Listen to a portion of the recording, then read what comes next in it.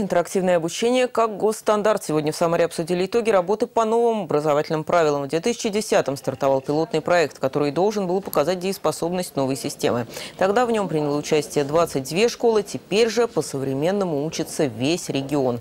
Обычные уроки дополнили информационной начинкой. Вместо карты графиков на ватмане компьютерные модели. В школьный курс вошли дополнительные уроки по 10 часов в неделю, где школьники с младших классов могут заниматься не только рисованием, лепкой и спортом, но и программированием и веб-дизайном.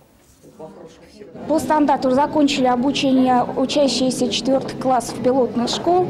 Результаты э, достаточно высокие. На э, базовом уровне задание выполняют 98% обучающихся. Они э, более самостоятельны, э, скажем так, быстрее могут принимать решения, анализировать задачу.